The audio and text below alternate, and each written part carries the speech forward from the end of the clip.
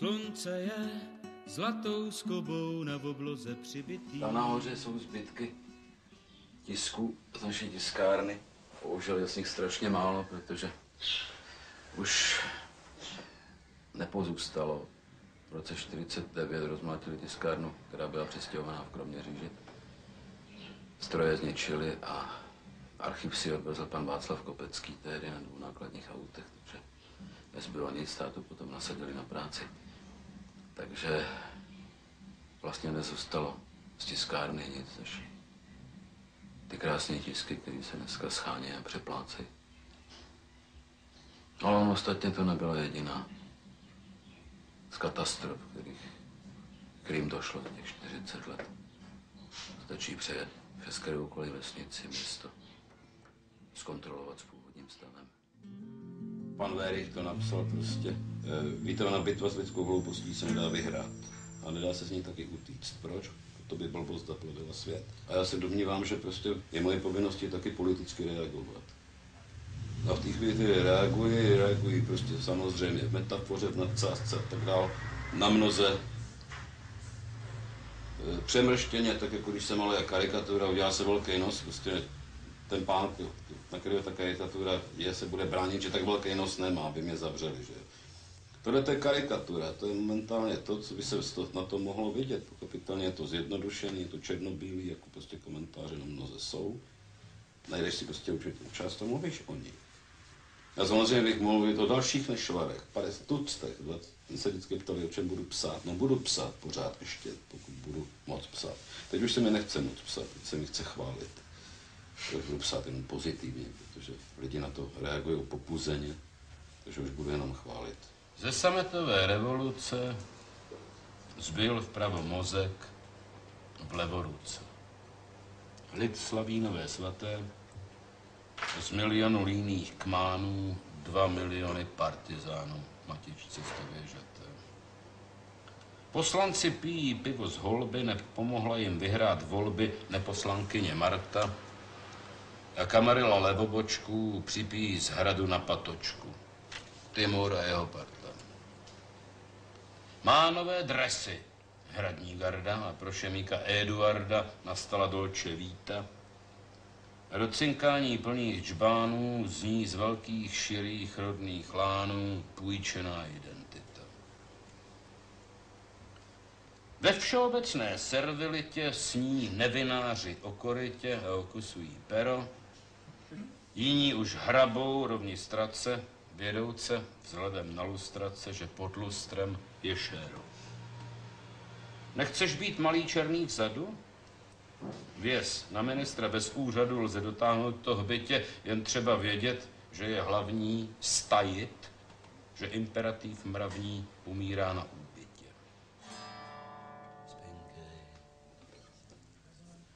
Synáčku, spí, zavři očička svý, dva modré květy hořce.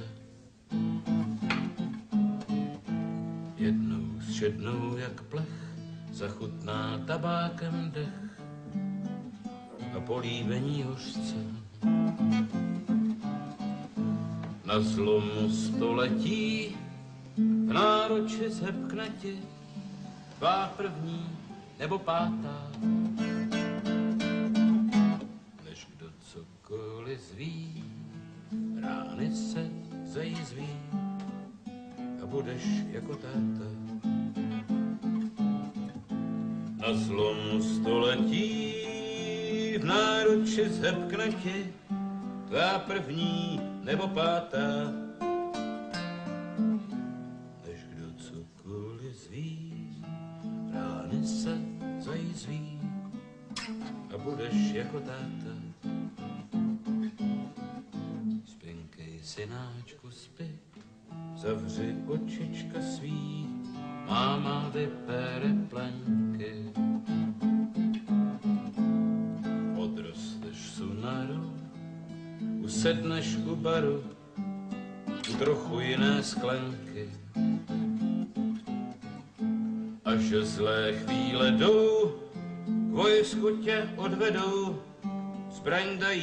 Místo dláta. klást místo náručí, couvat tě naučí a budeš jako táta. Na zlomu století náruče shepkne ti tvá první nebo pátá. Než kdo cokoliv zví, brány se budeš jako táta. Spinkáš synáčku spíš, nouze vyžrala spíš a v sklepě bydlí bída. V jeslích na nároží máma tě odloží, když noc se ránem střídá. Recepty na lhaní dají ti na hraní a nález bude ztráta. Kompromis života zbude ti samota. A budeš jako táta. Recepty na lhaní dají ti na hraní a nález bude ztráta.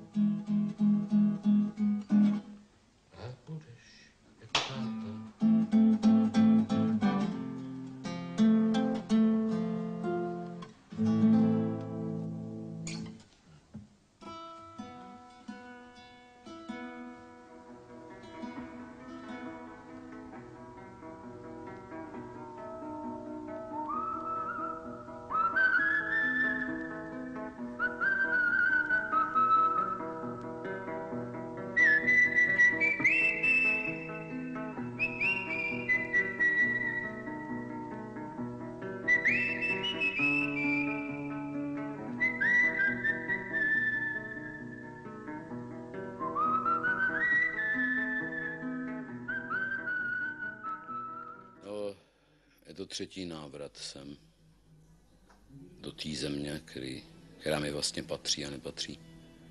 Tentokrát to bylo hrozně krásný, protože jsem zpíval ne v Praze a ne v centrech, i když tam taky, ale objevil jsem se v malých obcích, vlastně ve vesnicích, nebo na malinkých městečkách,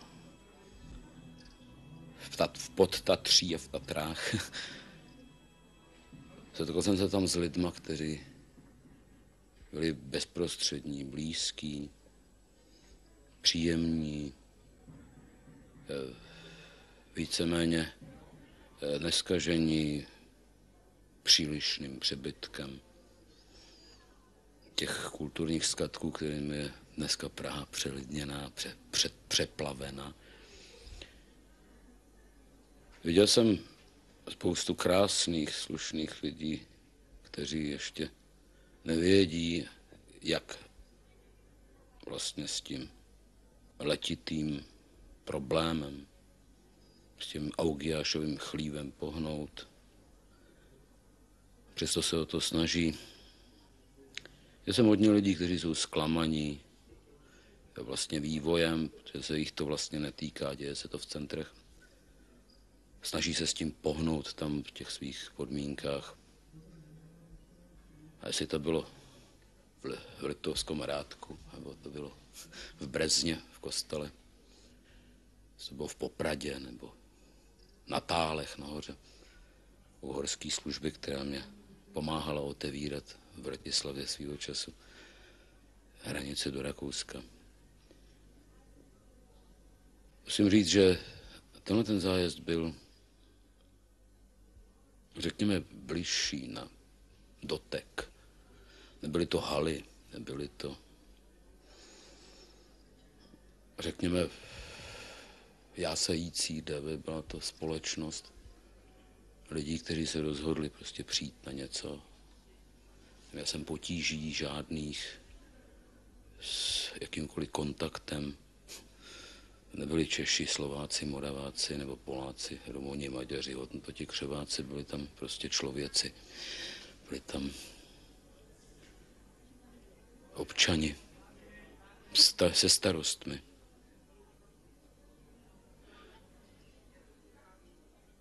No ptali se. Ptali se na to, co je vlastně dneska v novinách. Co poslouchají. Trošku dá se z toho osí obavy, jestli to zvládnou, jestli je na ně pamatováno. A mi vlastně došlo, že v tomto světě a v té situaci svobodného žurnalismu, vlastně žurnalismus přerostl v žurnaj, tu špatnou odrůdu revolverového žurnalismu na mnoze, že zprávy, které mnohdy docházejí, interviews, která jsou tištěna, jsou mnohdy zkreslena, neautorizována. Že lidé hledají senzace, jako v Bildu, nebo ve špatných plátcích v jiných zemích, že schází zodpovědnost žurnalistická na mnoze, ne vždycky, ale na mnoze. A že bohužel vzdor všemu, co se tiskne, se s tím musí počítat, že bude docházet ke zkresleným výrokům, k úryvkům vytětých, vytětým z, z kontextu, textu. Jenom bohužel ještě není vytvořena instituce, která by tomu zabránila, alespoň co se právní stránky týče. A že je mi moc křiku a málo informací. No moc křiklavě vyhlášených, vyhlášených parol, předsevzetí, plánů a skutek utek.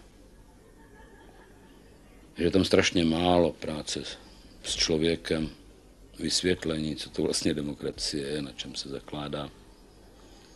A to člověk právo má, na co nemá. My se ptali lidi na tak základní věci, které jsou mi tak dávno jasné, jsem netušil, že může být řekněme, neinformovanost tak hluboká, že může být zklamání a dejme tomu rezignace tak velká. A týkalo se to i nových poslanců dosazených do našeho národního schromáždění, bez toho, že by se zeptali, za koho jsou. Až mi z toho bylo špatně. Je to otázky na těch 100%, kterými se volí. Jak to vysvětlit? Já vím, že to není pohodlný v této chvíli o tom mluvit, ale je třeba, já si myslím, že o tom mám mluvit, protože se mi na to ty lidi ptali, 16, 18, 20, jestli je to opravdu ta demokracie. Bych si přál hrozně, aby se nad sebou žurnalisti, hlavně novináři, hlavně televizní redaktoři, se nad tím zamysleli, co dělají, měli trošičku víc odpovědnosti vůči tomu, co občanům prezentují. Je to už není lid, který polkne všecko. Ale že to občani, s kterými musíme jednat a kterým vlastně budujeme a stavíme právě to mínění, v které tak strašlivě doufáme v příštích volbách. Poslední dobou zjišťuje totiž v této zemi velice nepříjemnou záležitost, eh, že my máme už tady na Moravě, v Čechách, nový šovinismus, nový náš malý, uplácaný, uhňácaný. Už říkáme, co s těma Slovákama vlastně máme společného, ať jdou. A... My máme děti, teda máme s nimi historii. Eh, Slováci jsou částí naší, jestli se nám to líbí nebo ne. My jsme s nimi měli republiku. A ať byla jakákoliv, byla to republika. Máme vztahy a jsme prolezlí. Těch Slováků tedy žije strašně moc na této straně. Ty pomyslné hranice. A těch Čechů žije na té druhé straně pomyslné hranice rovněž strašná spousta. Teď si představte, že to budeme šoupat a nehledě už potom na Maďary a na Poláky a na všechno, co u nás jako pozůstatek té rakousko-herské říše žilo. My si stavíme znovu ploty. panstvo. A říkáme, že to chtěli postavit z toho Slovenska. Ale každý plot má ty dvě strany. A nechat v tom plotě aspoň teda vstup, aby se dalo zaklepat. A ten druhý řekne, pojď na pivo. Já se domnívám, že se dá daleko víc přátelství udržet i přes ten plot. Jsem přesvědčený, že tam nikdo nebude stavět osnatý drát. Já jsem si ho konec konců v té Bratislavě střihl sám. A že totiž takový ty zoufalý útěky z jedné strany na druhou nejsou vůbec rozmyšlený. Moc lidí utíká dneska do soukromí, do jakýchsi emigrací vnitřních, vnějších, a nevědí, co to je vůbec, netuší, co obnáší teda emigrace, co obnáší exil, co se musí zažít, co se musí prožít, co se musíš naučit. Podceňují to. Oni o tom žvaně. Já neznám žádného člověka, který je venku, který by někdy řekl, že jde do emigrace, to ani nesměl, by ho tady zastřelili. Který se přes ty ploty stříhali a pokoušeli se jít, teď už padli prostě najednou, je budeme stavit znova. Lidi mají šanci prostě se dohodnout, domluvit. Já jsem vysílal do Československa celá léta, a nehodlám prostě si nějakým idiotem z Bratislavy a z Prahy, který si jdou ping-pong, nevědou se, co to je Československo, co jsou Čechy, co jsou Morava, co, co je Slezsko a co, jsou, co je Slovensko. O dalších místech, teda, který k nám patří, nevědouce. Já v tomhle nejedu, já to beru na vědomí prostě s křípěním zubů. Ale když mi chlapi začnou brečet prostě, že, že páni si zase volačo vymysleli a oni v tom nejdu, no tak do prdele kde, kde byli. Já jsem zažil lidi na, na, na náměstí Slovenského národného povstání, kteří na mě křičeli, vítaj doma, v jednotě je síla. Bylo jich tam 150 tisíc asi. A najednou pět tisíc lidí slaví prostě to, že se konečně utrhli od něčeho, co byste neměli v zákoně. Trapně mi tam oslavují to, co už 20 let stojí. A vidím tam ty svý kamarády a tam stál Jano a tam stál Milan a tam stál Vlado a všichni chtěli prostě udělat novou zem. Mezi tím prostě, jak mi dokazuje finanční situace, prostě už jsme dneska 20 korun na marku a skoro a už to jde do háje, to je takový, takový ukazatel. Vraťme se k těm ulitám a k tomu úniku. Co s tím tedy? Zase do ulice, zase mítinky? Když je někdo nespokojen, má teda křičet, stávkovat, hladovkovat? To je samozřejmě těžké. Ve, ve permanentní revoluci zkusil svého času Che Guevara, jak dopad o tom víme. Lidi se nakonec starají o ten svůj o ten svůj domeček, říkají si, no nějak to dopadne. Zůstalo v lidech strašná spousta, strašná spousta gubernie. Eh, většina lidí podle své volby v této zemi chtěla dobrého cara, pokud možno lepšího, než byl ten předchozí, ale naprosto postrádám výchovu k demokracii, výchovu, výchovu i sdělovacích prostředků, to je výchova ke krámům, k věcem, který si dovezeme, nedovezem si nic zvenku. Takže i podle vás je demokracie spasením? Co to je demokracie? No to je právě to, to nikdo neví. Oni si myslí, že demokracie je samospása. Demokracie je to prostě, co lidi jsou schopní.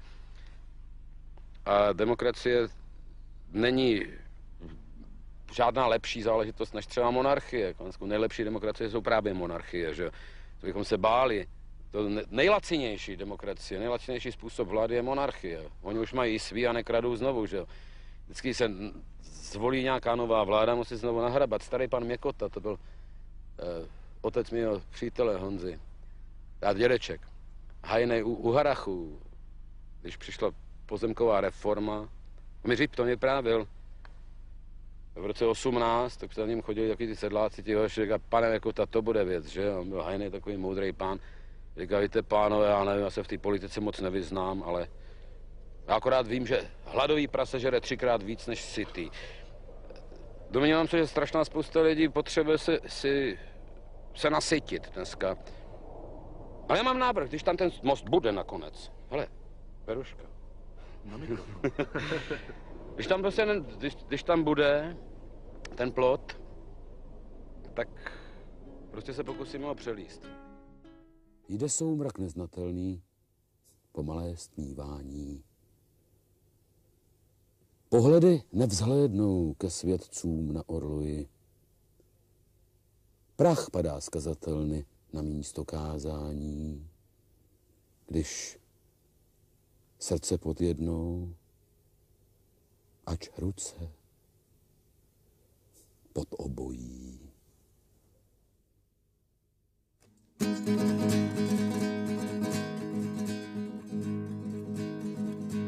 Tři černí mravenci topí se v slze srny. Nápisy na věnci a na koruně trny. Padáme pod tíží a snažíme se dolézt. Vlekouce na kříži svou samotu a bolest. Nebe je růžové po cestě křížové, pak konečně s počinem, jak pšenice v klásku, s počinem bez hněvu, přirostlý ke dřevu, vždyť nejtěžším zločinem je hlásati lásku.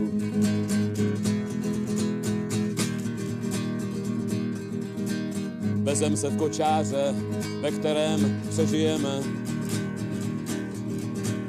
Obrazem mocnáře, kterého milujeme.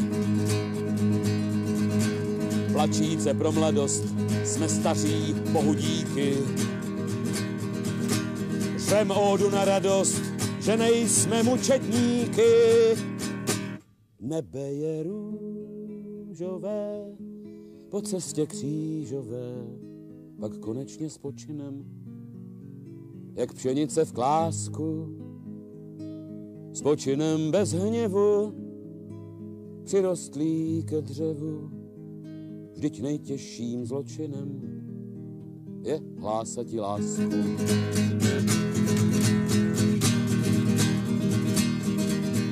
Dosněla devátá a končí komedie,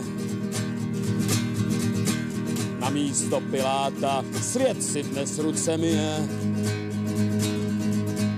Sám kříž si zhotový a sám si hřebiková. A král je křížový, hraje se osudová. Nebe je růžové po cestě křížové pak konečně s počinem, jak pšenice v klásku, s počinem bez hněvu, přirostlý ke dřevu, vždyť nejtěžším zločinem je hlásat lásku.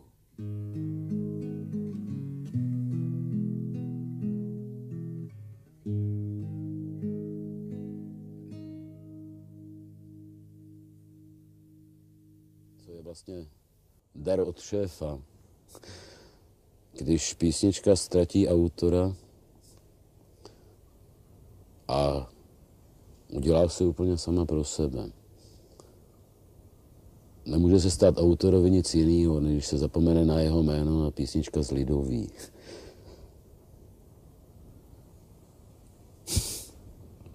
A jsem byl šokovaný svýho času, když jsem přijel sem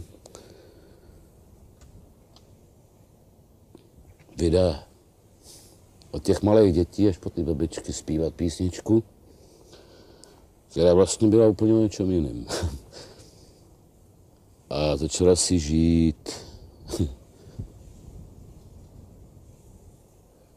v těch chvíli jsem je slyšel v těch velikánských sálech a na náměstích, tak jsem si říkal, že se přece jenom možná písničkou něco dá změnit.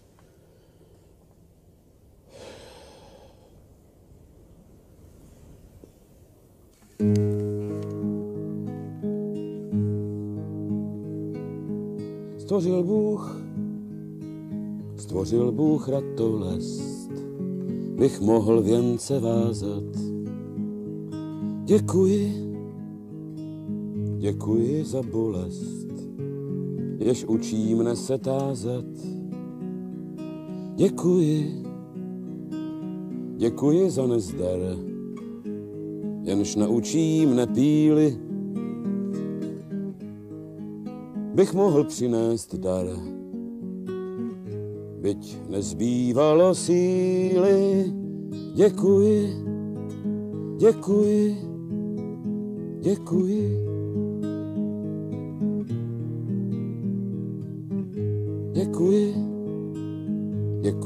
za slabost, jež pokoře mne učí. Pokoře, pokoře pro radost, pokoře bez područí. Za slzy, za slzy děkuji, ty naučí mne citu, k živým již žalují křičí po soucitu. Děkuji, děkuji, děkuji.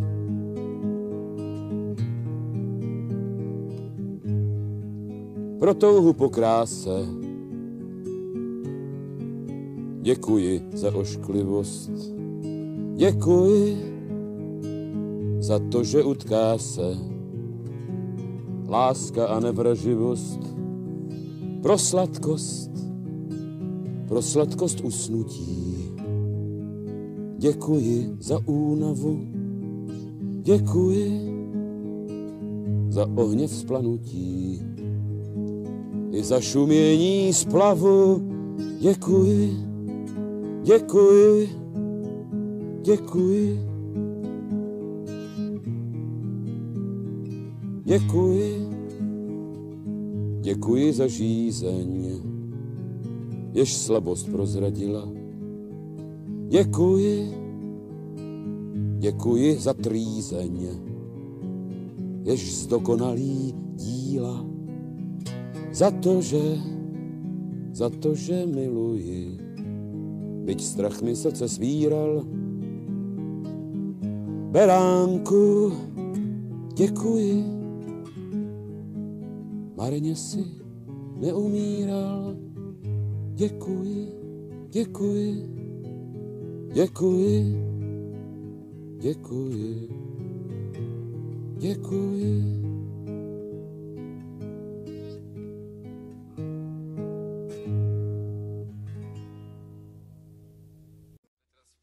usilujeme, tak sú už dlhé roky teda samozrejmosťou. Vedel by si mi povedať, že čo by ste považovali za znak toho, že tu už sú tie veci tiež samozrejmosťou? Nejaký taký znak? Jo. A nebude to zrovna pěkný, co vám řeknu.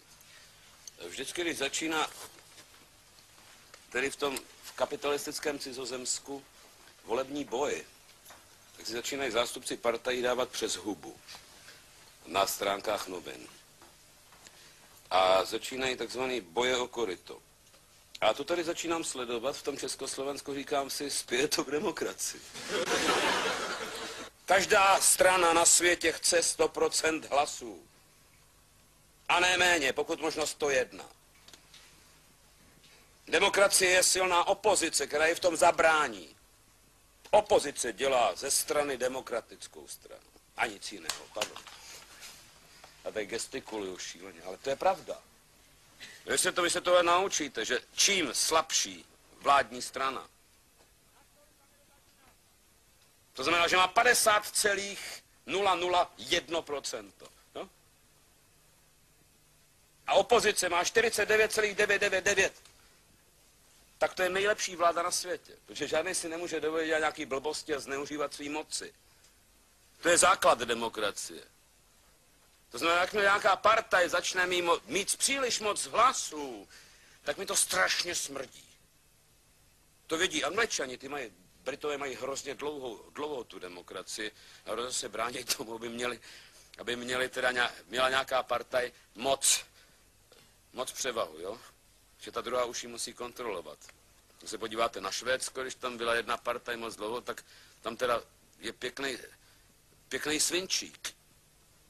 Ačkoliv to tam ještě funguje, ale tam už lidi ani nechtějí pracovat, že jsou už tak zabezpečený, tam někdo vydělá peníze, že oni mu vezmou 112% daní. To je tam možný. Co tam zvítězí? No hňubství v téhle věci. A to je hňubství. Jaké? Institucionalizované.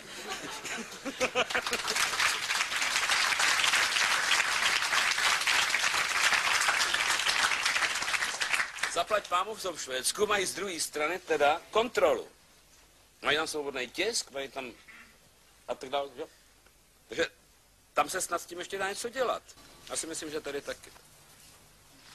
Já to musím dobře sformulovat, prosím, abych to řekl přesně, protože jinak, jinak může dojít k omilu. Tohle to je důležitý. Tož.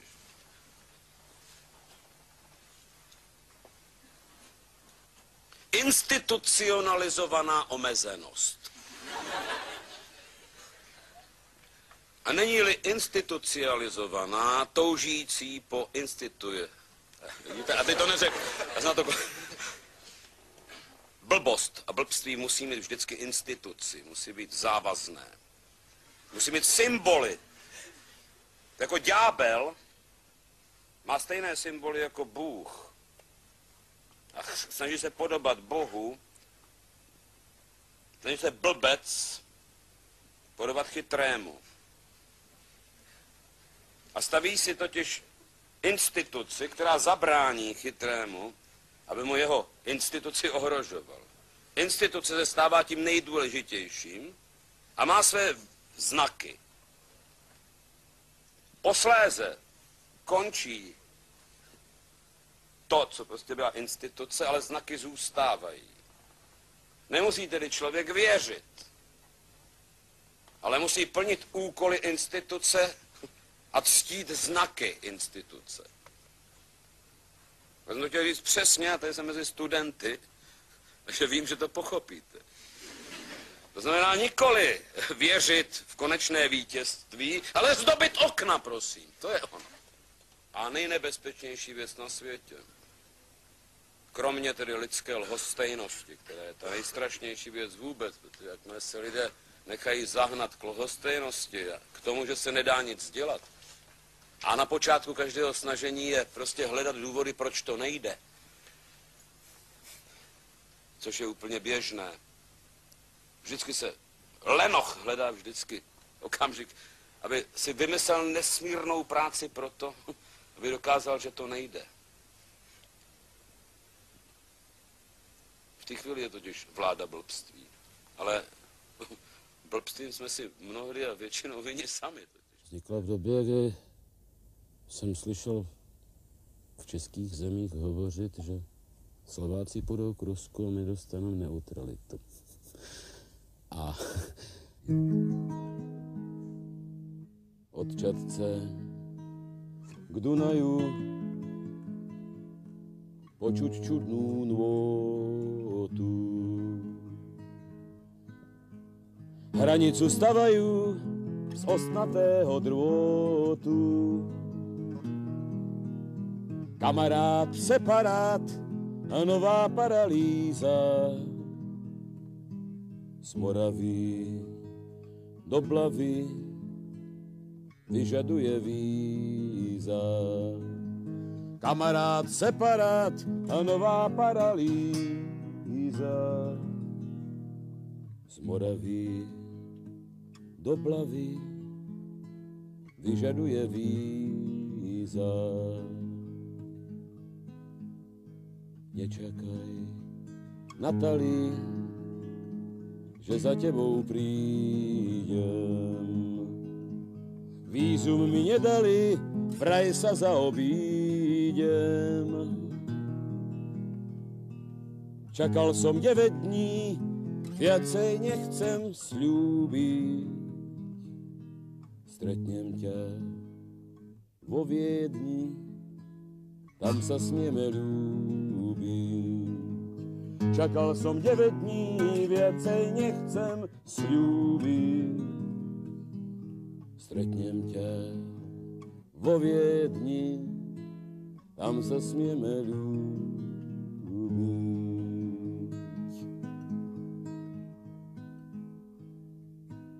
Taková cymbálovka slovenská. Ptali se mě v té době, všechno vypadalo takové rozjásané. Jako se mě vlastně ptali v roce 68 přesně stejně. Co teď teda budu psát, když všechno bude dobrý. Já jsem tehdy odpověděl písničkou, která se týkala věcí sociálních. Protože každá revoluce, která se chystá napravit zločiny někdejší doby, vytváří priority podpory některých věcí na úkor věcí jiných. Je obvyklé, že to odnesou většinou ti nejchudší z nejchudších a nejubožejší z nejubožejších, vzhledem k tomu, že nejsou zrovna prospěšní té či oné době.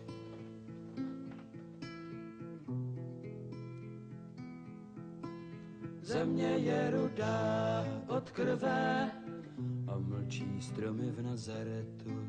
Vždy naposled i poprvé, jak v neskutečném kabaretu. Jsme příliš sláby ve víře, byť třeba Krista na kříž vlekou a zabíjí pastýře, pak se i ovce rozutekou. A la, la,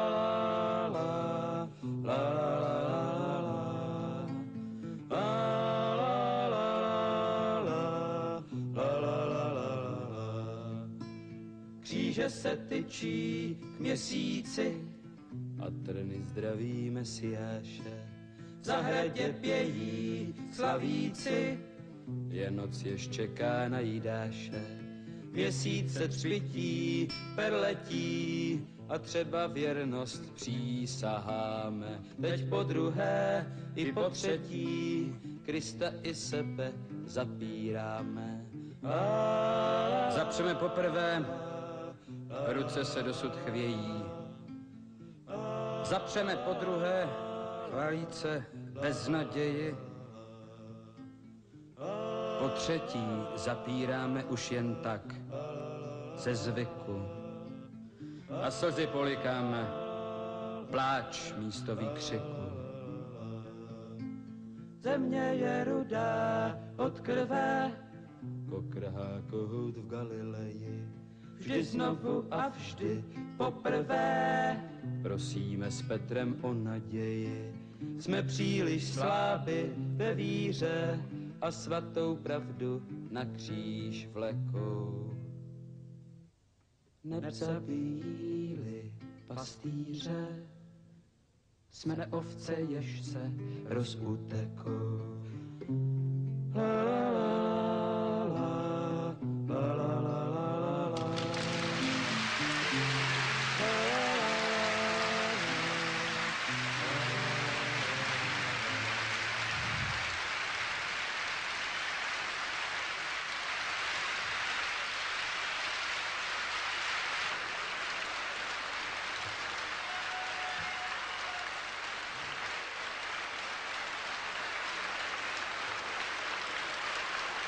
Tak nevím, tak nevím, jestli budete tle. Tak nevím, jestli budete tleskat taky, až odtud budete odcházet.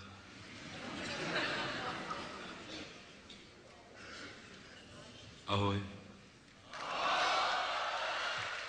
Jsem povoláním hudební publicista a jako takový vám mohu teď sdělit, že tón ke společnému zpěvu našich národních hymen dnes jednotně udají dva nevymazatelní Karlové našeho písňového života. Karel Gott a Karel Kryl.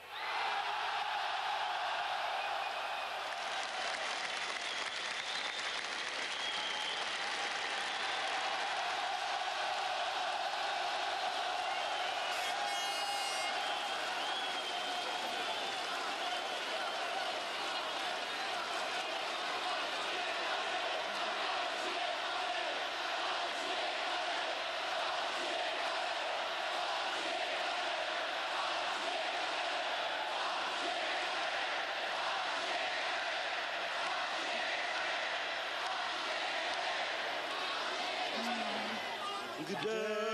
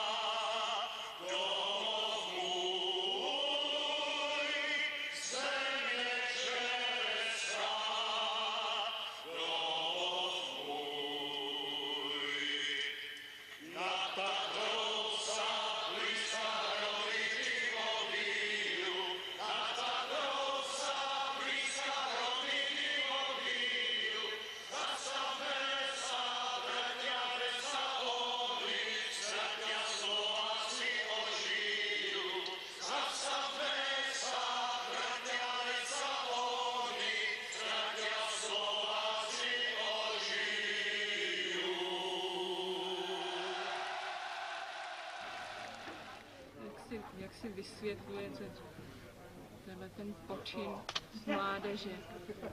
Milostivá, kdo už má k dispozici stanici, kterou může zkazit generaci? jsem z toho potěšený, že se vyskazil. Dělal jsem pro to 20 let, co jsem mohl. Konec konců 26 tisíc marek mínus za desky, které šly do Československa ve falešných obalech. To s tím se nemůže vykázat let kdo.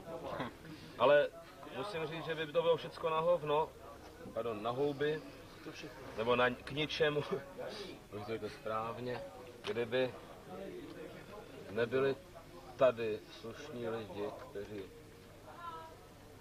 ten, ty mladý občany vedli k tomu být občani. A kdyby ty hluboké tradice a boží řízení, protože pán Bůh chce mít člověka k obrazu svému, a ne k obrazu ďábla, eh, kdyby tohle nebylo, nevím. Možná, že by byl umřel někde jinde a smutný a truchlivý. Ještě nám taky pomohlo to, že jsme dostali našeho prvního. Protože když je někdo kůl v plotě, tak prostě má být kůl v plotě. A Ale co bych ještě řekl? nakonec. Udělej mi to, jsem do zhubra. Ano, plácnu na, plácnu mu na čelo Račana.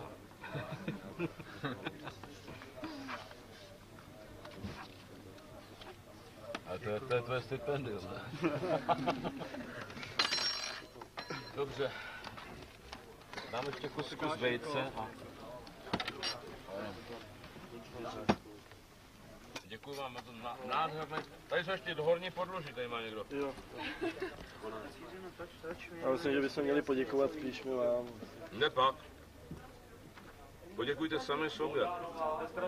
Že jste pomohli, že byste zase udělali hrdýho člověka. Z té bídy a utrpení za 20 let. Jsem, jsem šťastný. Zkaz tam je napsat. Janko. Lidé, Někdo podal. Doktoři studentského slova, když musí položit tak větší otázky.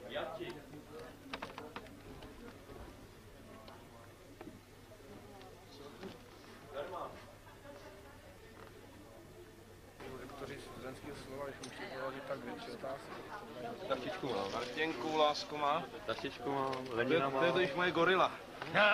už, už 20 let.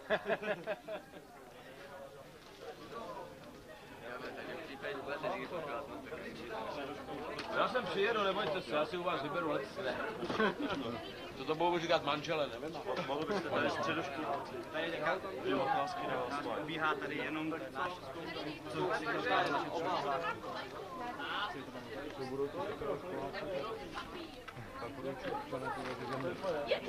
A jaký máte názor na systém? To je za to. Organizace na. To je co? Dane, Udělejte si vlastní organizaci, když se chcete organizovat. Buďte pořádný lidi, pak je každá organizace v pořádku. Můžete nám věnovat minutku teď? Já bych si nechal vedle vás vyfotit kolegu a pak sám sebe. Karel Kryl. Znovu s ním zpíval celý sál. Dokonce i ti, kteří nezažili den, kdy musel opustit republiku.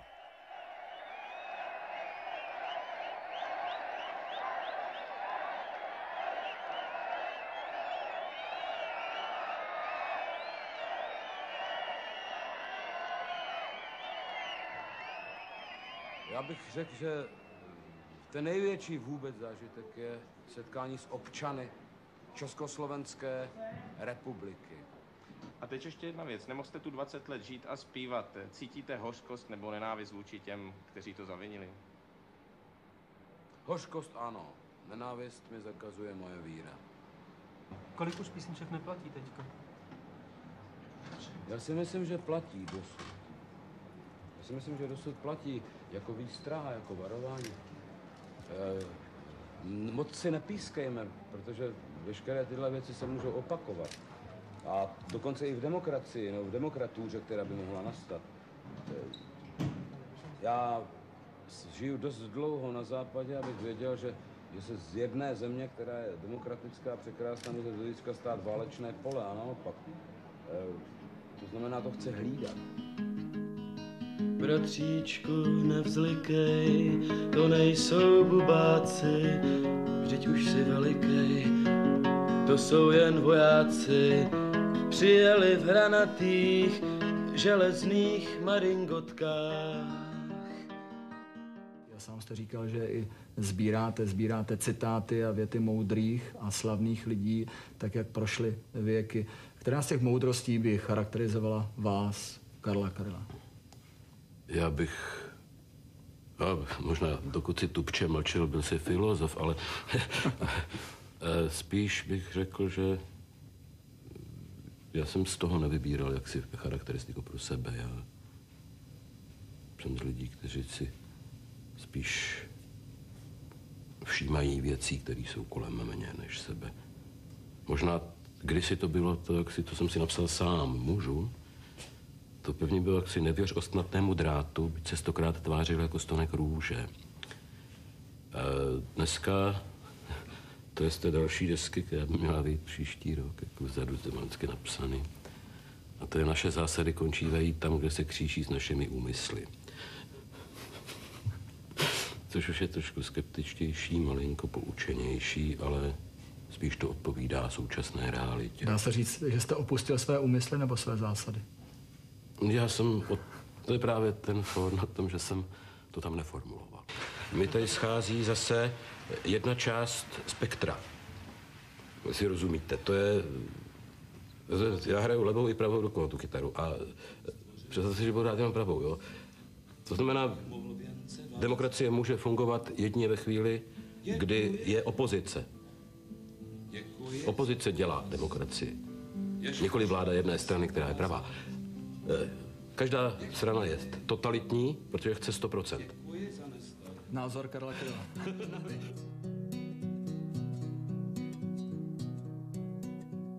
Demokracie pánuje od Aše po Humené. Samet i něhav pánuje a zuby vylomené. Dali nám nové postroje a ač nás chomout pálí, zaujímáme postoje, místo abychom stáli. Dali nám nové postroje a ač nás chomout pálí, zaujímáme postoje, místo abychom stáli.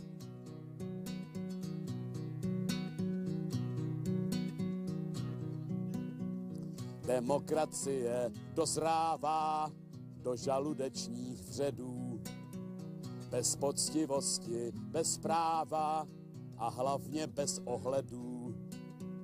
A je to mílka soukromá, snad z optického klamu, že místo srdce břicho má a místo duše klamu.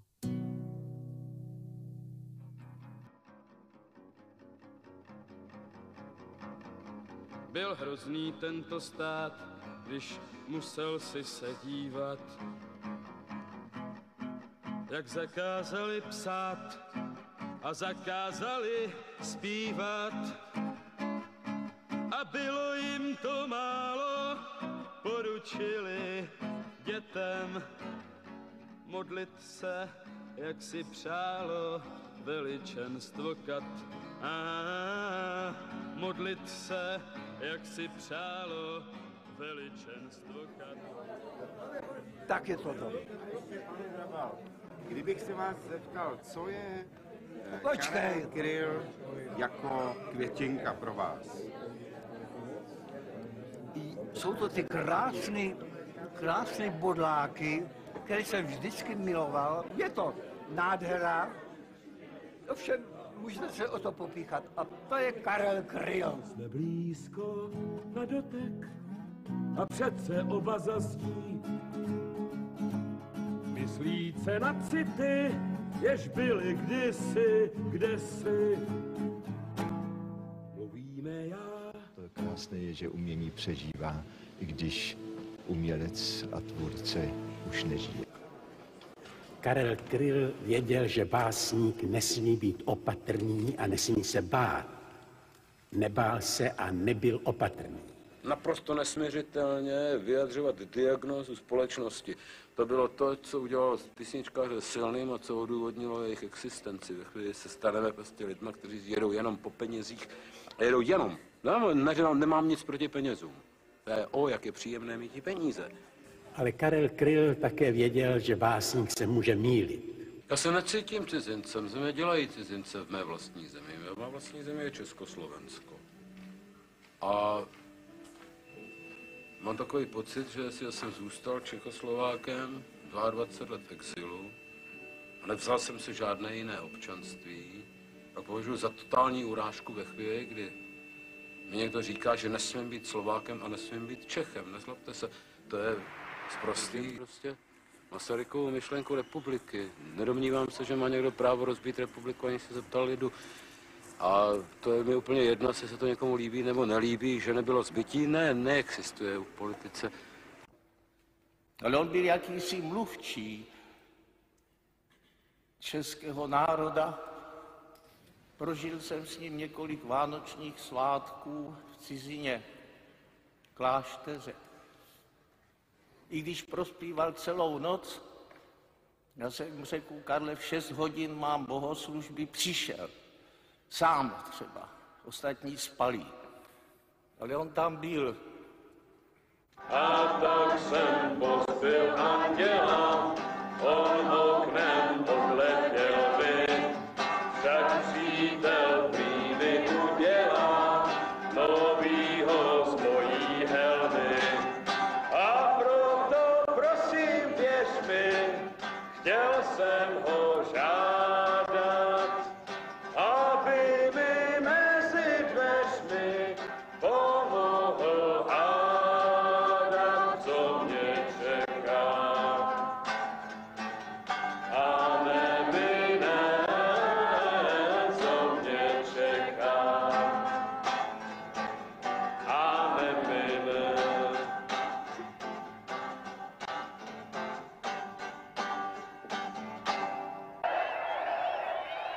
jsem si osobně Karla vážil především za to, že své osobní pády nesváděl na své prostředí okolí. Měl život složitý i život osobní, ale dovedl si to přiznat, protože se poměřoval s tím absolutnem, s absolutním měřítkem s Bohem. Nezlob se, to je jedno, jestli pravice nebo levice krade, krade. To je to podstatné. A to je úkolem písničkáře. Nikoli, jestli je to levice, pravice, eh, choulostivé, nechoulostivé, hodné, nehodné, je to jedno. Někdo krade, a je třeba říct ten a onen krade. Tamhle ten násilný, tamhle ten vraždí a ten bere svobodu. To je všechno. Jel krajem divný kníže a chrpy povedly. Když z prstů koval mříže a z paží zábradlí. On z vlasů pletl dráty, měl kasematy z dlaní. Kryl byl takový člověk, na kterého za spousta lidí mohla převíst svoje vlastní zodpovědnosti za to, jak se společnost nevyvíjí, nebo co je v ní špatného, že eh, je snadný mít člověka, který to za tebe řekne a vybojuje, jakoby, a za něj se dá schovat a říct si, a poslouchám Kryla, to je skvělý a tím vlastně říkáš, no já si myslím to samý. A když jak svět bez Kryla, tak se tyhle ty všechny věci budou muset lidi dělat sami a o to to budou mít těžší. Karel jednou seděl a brečel na tenise, naproti rádiu. Já jsem říkal, Karle, neblázni, domů se dostaneme, budeš, no, budeš strašně slavný, budou tam chodit tisíce lidí. A Karel se přeslal brečet, utřel si ty slzy a říkal, neblázni, ale potom už se nesejdeme.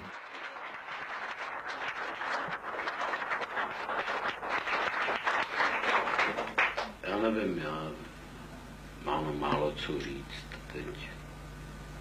Tam bylo vlastně všechno řečeno. A přidávat něco navíc obyčejně není dobrý.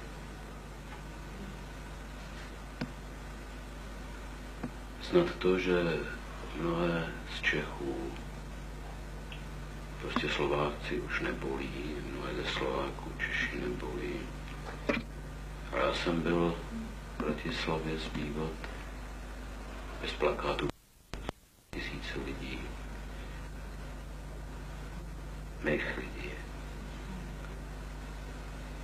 V Košicích, když přišlo do sálu asi po 1400, já nevím. Dal, kladli mi na srdce, vyřídil všem, před kterýma tady budu zpívat. A já v Praze nespívám vůbec, protože to není zájem. Kromě tohohle malého sálu, který ještě není plný. Tak aspoň vám, kteří jste tady, mám vyřídit, že se nic nezměnilo mezi nimi a námi. A že byli podvedení stejně, jako jsme byli podvedení my. Já si všichni domnívám, že 35% je většina a to není. A pro boha neskačme na špek. Neučme se nenávisti ještě k té, které v sobě máme. A nechceme si zničit duši někým, komu se to hodí do krámu. To je všecko. Přeji vám pěkný večer, já nebudu už dneska zpívat nic, nemůžu dost dobré. A prosím vás lidi, myslete, trvalo to 22 let, mě jsem přijít a od dneska od Káňa už jsem vůbec nejezdil. Protože ty pakáže je tady tolik. A ty pakáže je v nás ještě víc. Tak se mějte, ahoj. Dnes se se zesnulým písničkářem Karlem Krylem přišli rozloučit do Břevnovského kláštera v Praze tisíce lidí. Mezi věnci u rakve byly květiny od kolegů z Rádia Svobodná Evropa, od kulturních a politických osobností, od velvyslanců Slovenské a Polské republiky. Po smutečním obřadu se vydali stovky lidí v průvodu k Břevnovskému hřbitovu, kde byly uloženy ostatky Karla Kryla, básníka, zpěváka a rebela, který oslovoval všechny generace. Jak víc jenom toto. Nejsem si jist, jestli za tvého života jsme ti dost poděkovali. Pod tmavočervenými jeřabinami zahynul motýl mezi karabinami. Zástupce protýl šlápl na běláska, zahynul motýl jako naše láska. Zahynul motýl jako naše láska. Na břehu řeky roste tráva ostřice, prý přišli včas, však vtrhli jako vychřice. Na tichou zemí vrčí netopíři a národně mít tlučou oficíři. A národně mít tlučou oficíři. Na nebi měsíc jako koláč s tvarohem, koupím si lahev rumu v krčmě za rohem. Budeš se líbat v noci s cizím pánem, já budu zpívat spitý s kapitánem. Já budu zpívat spitý s kapitánem.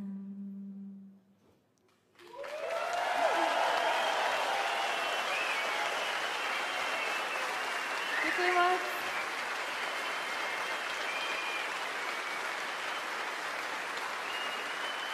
Děkuji.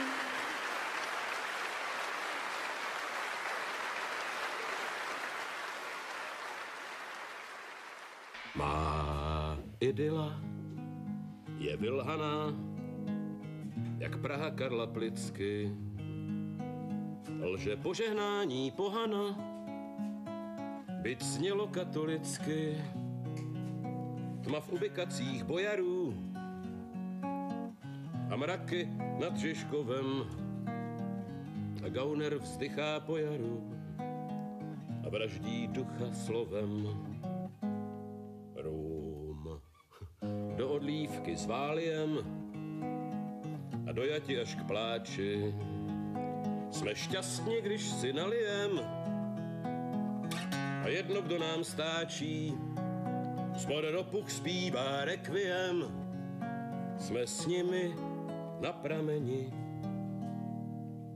ač se lží, ještě nežijem, jsme s pravdou rozvedeni.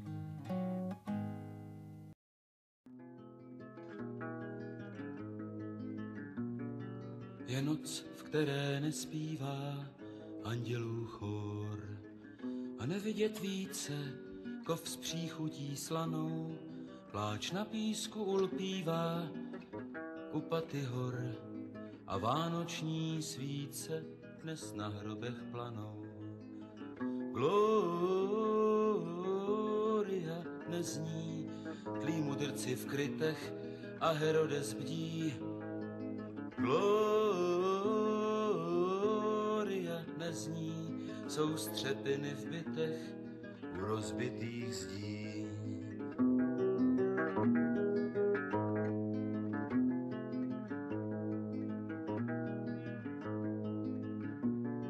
Vše zalito svitem i neony měst.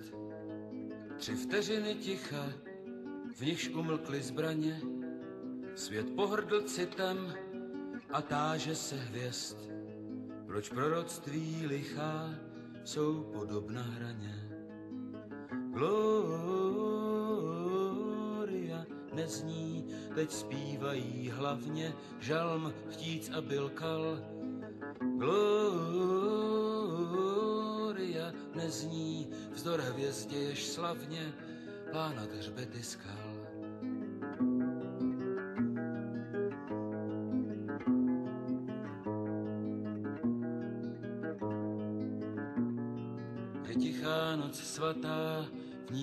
Nepadá sníh. A šílenec svět řekou bláta se brodí, je slepý a hmatá po ořízkách knih. Snad po stovkách let znova Kristus se zrodí. Gloria zazní a přeroste tráva přes písečný vír.